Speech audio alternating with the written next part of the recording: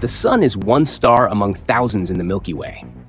Many of them, like the Sun, have their own systems. Some are quite bright, while others have such low brightness that we can't even see them from Earth, despite their proximity. You're probably familiar with Proxima and Alpha Centauri, the stars closest to our Sun. There are other stars very close to them that we hear little about. These points represent the 10 stars closest to our Sun, within a radius of 10 light years. Let's visit these nearby stars and their planets.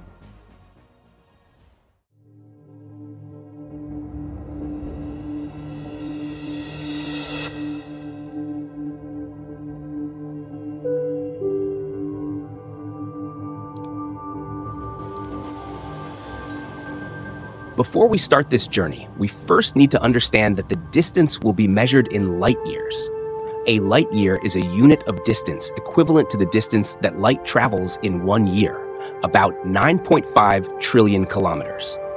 As a reference, the sun is 8 light minutes away from us. If we could travel at the speed of light, which we can here, it would take us 8 minutes or slightly more to reach it. First star is a tiny red star called Proxima Centauri in the constellation of Centaurus. Let's go to it.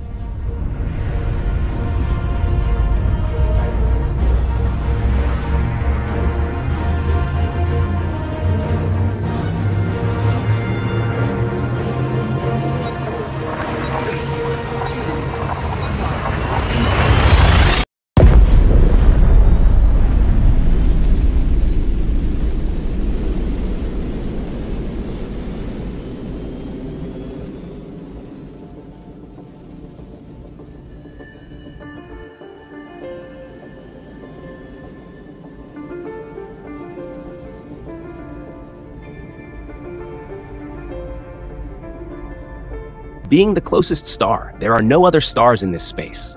This space is a partial vacuum with low particle density and is composed of hydrogen and helium plasma, electromagnetic radiation, magnetic fields, neutrinos, interstellar dust, and cosmic rays.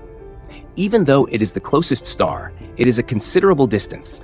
With the fastest spacecraft ever produced, traveling this distance would take more than 8,500 years. That is longer than the entire recorded history of human civilization. This shows how vast the distances in space are.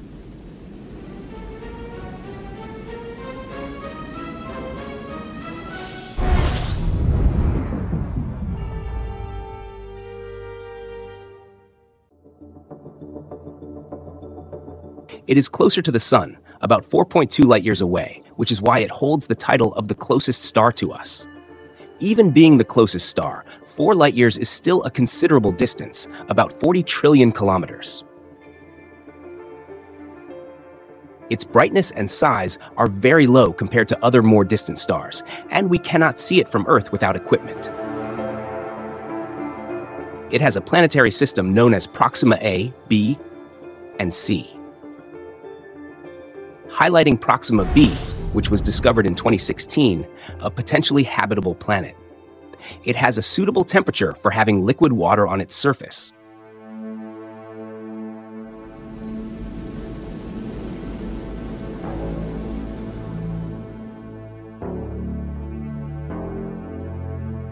Right next to it, we have Alpha Centauri. Alpha Centauri consists of two stars, known as a binary star system, made up of Alpha Centauri A and Alpha Centauri B. Alpha Centauri A is a star with a diameter 20% larger than our Sun and slightly hotter, at around 5,600 degrees Celsius and twice the luminosity of our Sun.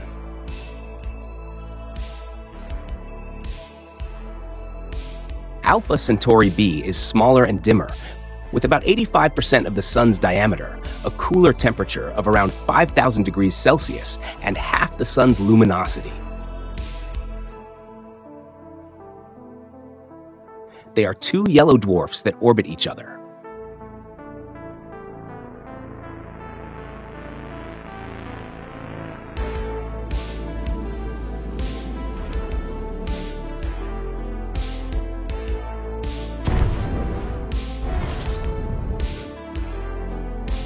At a distance of 5.96 light-years, we reach Barnard's star, a red dwarf with low brightness, located in the constellation of Ophiuchus.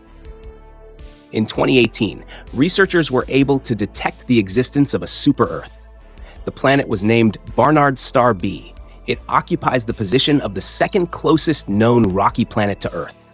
It orbits its host star with a period of 234 Earth days.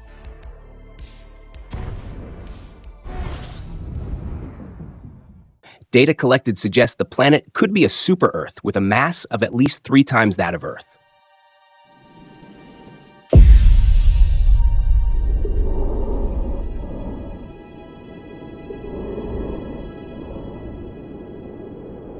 Like Proxima Centauri, Barnard's star is a red dwarf, meaning it is a cool, low-mass star, illuminating the planet it orbits very little. So little that researchers believe the light the star gives to its planet is only about 2% of the solar energy Earth receives. Despite being relatively close to its star, half the distance between Earth and the Sun, the exoplanet is near the snow line a region where volatile compounds, such as water, can condense into ice. Thus, this icy and dark world might have an average temperature of around minus 170 degrees Celsius, making it hostile for life as we know it.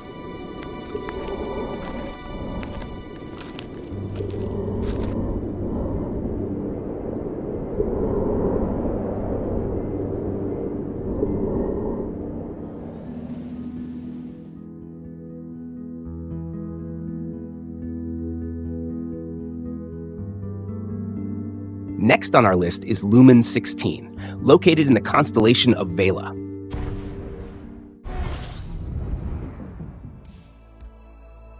It is 6.6 light years away from our planet. It is a binary star system of brown dwarfs. Their brightness is so low that they cannot be observed with the naked eye from Earth. They have a diameter six times that of Earth and 20 times that of the Sun with temperatures of around 1350 and 1250 degrees Celsius. Of the stars we will see, these are the dimmest. They even have a photosphere very different from others.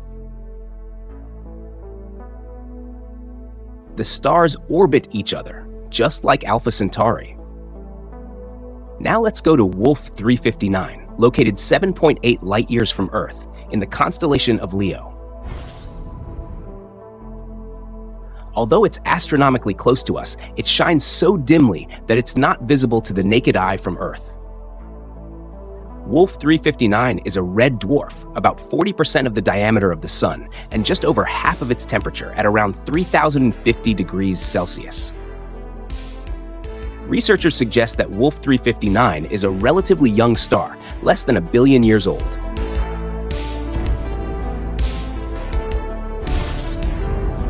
8.3 light-years from Earth, we encounter Lalande 21185, another red dwarf located in the constellation of Ursa Major. Lalande 21185 is a cold red dwarf, about 70% of the diameter of the Sun, and with a brightness 180 times less, making it too faint to be seen with the naked eye from Earth. This star has attracted attention because it is believed to possess planets. The suspected planet seems to be about 12 million kilometers from the star. If this planet were placed in our solar system, it would be three times closer to the Sun than Mercury. Its orbital period is 12 Earth days.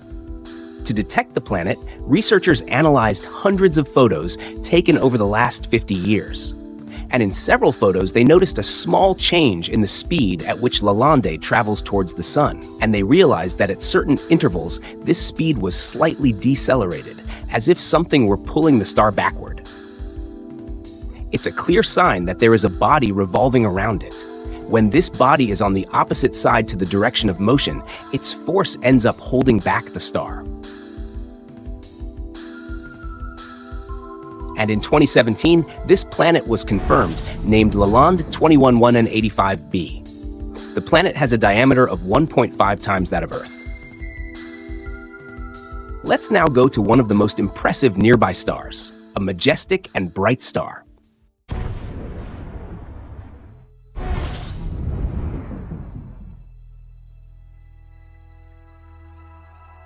Its system is composed of Sirius A and Sirius B and is located about 8.5 light years from Earth in the constellation of Canis Major. The combined brightness of both stars makes Sirius the brightest star in our night sky, and it is visible from anywhere on Earth. Sirius A is a main sequence white star with a diameter almost twice that of the Sun and a temperature of around 9230 degrees Celsius.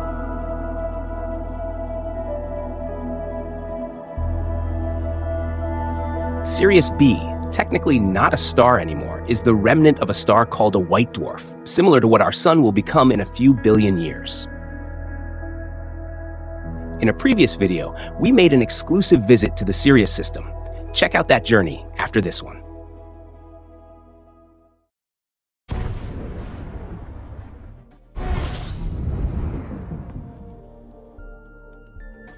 8.7 light years from Earth, we find Luyten 726-8, also known as Gliese 65, located in the constellation of Cetus.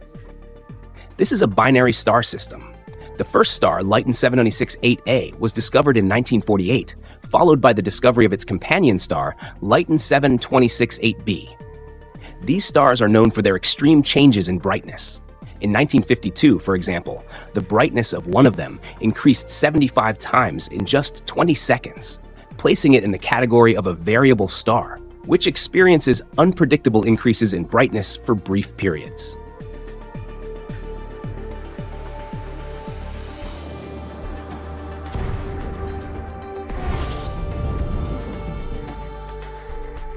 On a journey of about 9.7 light years from Earth in the constellation of Sagittarius, we come across Ross 154, a red dwarf that, like the Luyten 726-8 system, is one of the stars that can increase its surface brightness in a matter of minutes.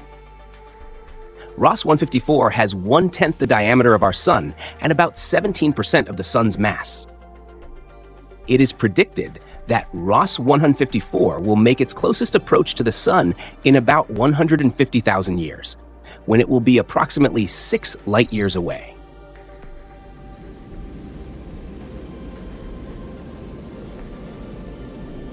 These were the 10 stars closest to us.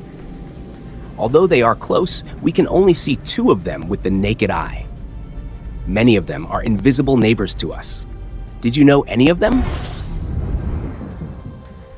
Thanks for watching, and see you on the next Star Trip.